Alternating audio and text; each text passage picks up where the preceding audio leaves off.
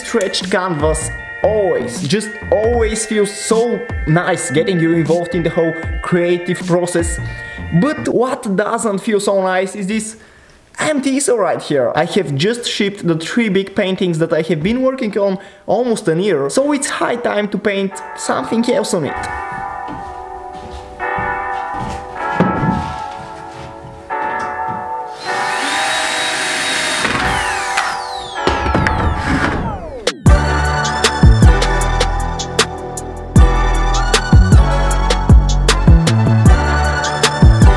Lately the main object, the main structure of my paintings are mountains, so it's time to change things a little bit. And what's the opposite of mountains? A seascape. And as this one is a customer request, first I made like a raw, simple sketch of how everything is gonna look to show to the client and discuss what the idea is exactly. And the idea is that the main focus will be on the waves and on the ocean and a little bit of rocks in the foreground and just a little tiny bit sky in the highest part of the painting. The sky shouldn't be too vivid and take too much attention, so I tried to mix more subtle colors.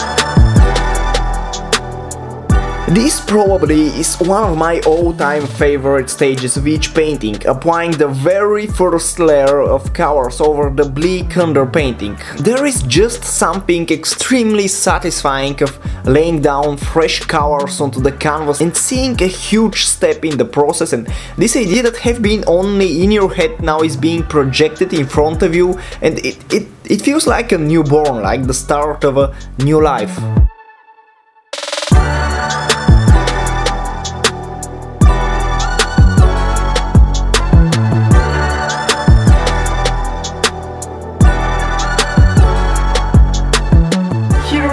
Quick pro tip. If you ever gonna paint the sides of the painting, do it as soon as possible and don't wait till the end because otherwise you're gonna have to mix all the colors all over again and you're gonna lose a ton of time. Speaking from experience. Now a project that I have been postponing for way too much time.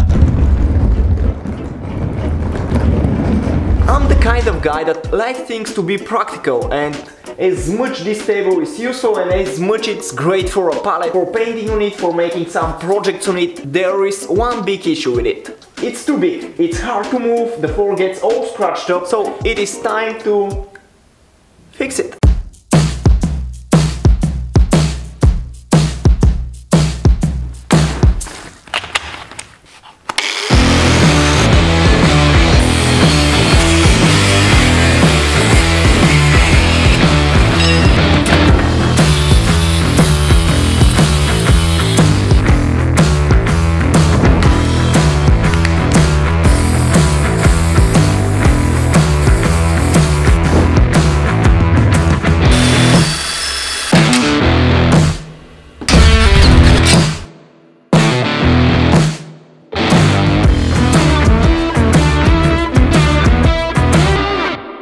What I'm talking about. Movable, practical, easy to use, good looking.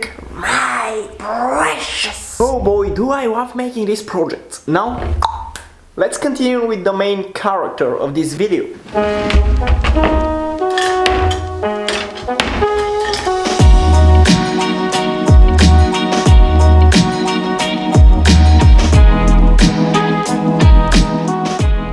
Painting and in any other endeavor, the first steps of the process are really encouraging and motivating. It's really fulfilling to see the immediate progress of your work and as I said, I love the stage where I'm using a big brush and throwing big chunks of paint on the canvas.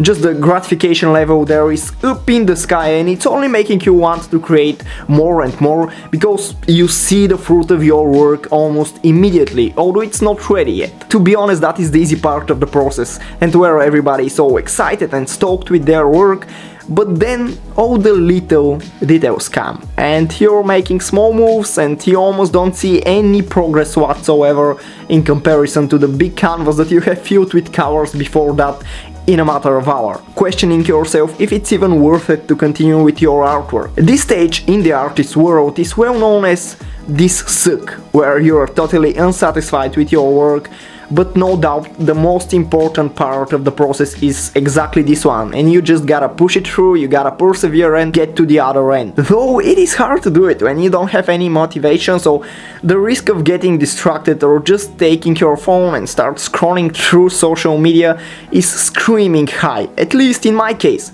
So the way I find myself dealing with this never-ending problem is just by planning my distractions. If you can't escape it, just get ready for it. And no, not by putting your phone in a standby mode so that you can start scrolling up and down, but by planning and planting like a small creative and fruitful acts every now and then. And for me, this would be painting for 30 or 20 minutes and then for 5 minutes editing a short sequence of a video or making a quick sketch or reading 5 pages of a book or crafting something quick.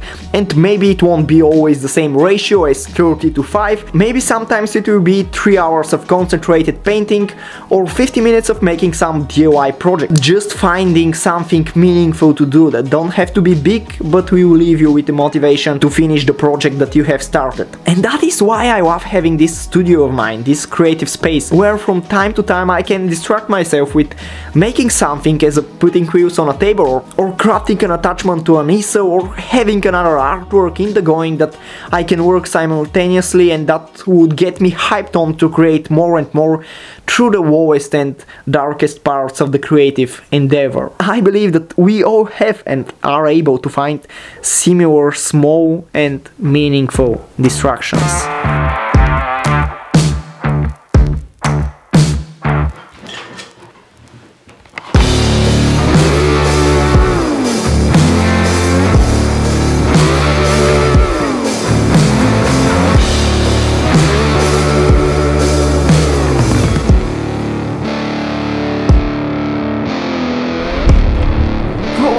Doesn't match your Christmas mood, it's not the exactly winter type of painting. But other than that, I really enjoyed the process, enjoyed how it turned out, and I hope that you enjoyed this video. And if so, you know the drill, give it a thumbs up, subscribe if you haven't yet. And to all of my subscribers, thanks for being patient with my consistency type of schedule.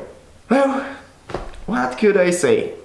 More videos about come, stay tuned, and I will see you in the next video next week or at least next year.